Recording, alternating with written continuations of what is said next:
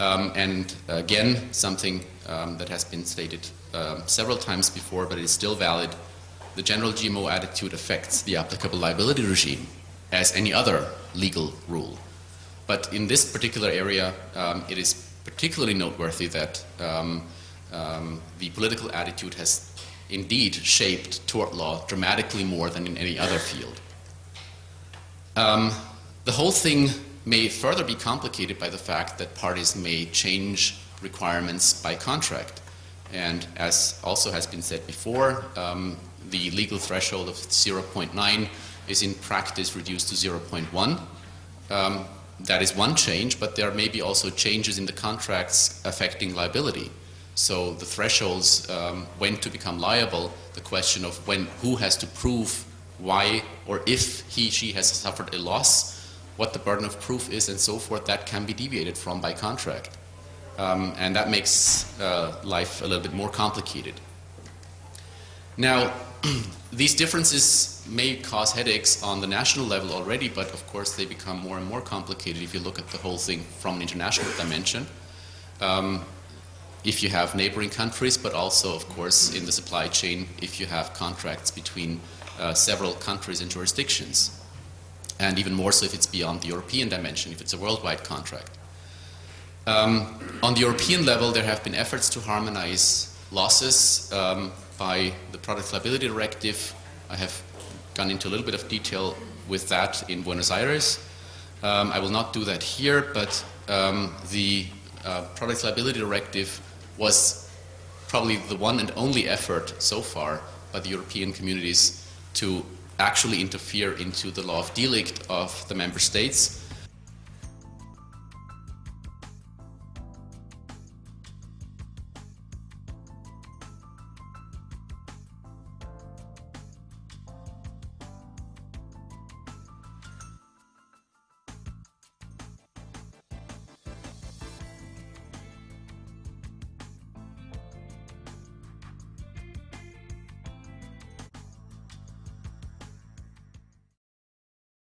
What were in fact the main issues that were raised there?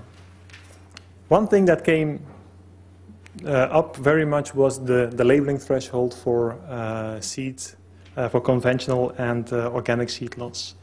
Uh, a lot of stakeholders uh, brought, wanted to have that settled once and for all. There was also a lot of discussion about the testing and the sampling. And um, the need felt for further standardization uh, in that area. Um, yeah, and, and also uh, uh, it was felt that, well, on, on, on the field side, at the beginning of the chain, doing things there uh, might be very labor intensive. Costs were also very predominant, uh, uh, predominantly discussed and quite some stakeholders worry about that. One thing also uh, discussed and also mentioned already today here is about what does the, the, the wording uh, adventitious and technically unavoidable actually mean from a legal point of view for what the, uh, what the uh, level of uh, contamination one should aim for in building up coexistence measures. And that topic sparked a little bit of disagreement between different stakeholder groups. Also discussed was uh, the issue of the non-authorized non uh, GM. And non-authorized GMs, you can have different ones. You can have ones that are not yet authorized in the European Union, but for instance uh, are authorized in, uh, in the US or uh, other parts of the world. But you can also have uh, the unauthorized ones that have have no authorization anywhere in the world. That's, that's also possible. And, and farmers and other people uh, worry about, okay, how are we going to deal with that in practice? Responsibilities and liabilities, um, I think you can say that where the, the scale of the agriculture becomes smaller, uh, farmers worry more about the liability and, uh, and, and their responsibility. So it's a little bit scale dependent there. Practical coexistence measures were discussed.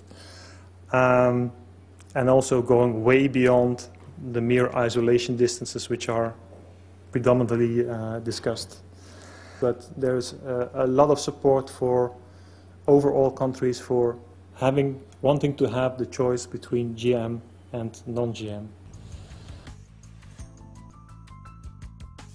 Generally speaking, the methods, strategies, tools, and models developed in CoExtra for coexistence and traceability of GM and non-GM supply chains will be used in the management of numerous other supply chains and of value-added or not niche markets, as well as of harmful products such as those containing allergens or organisms producing mycotoxins or pathogens.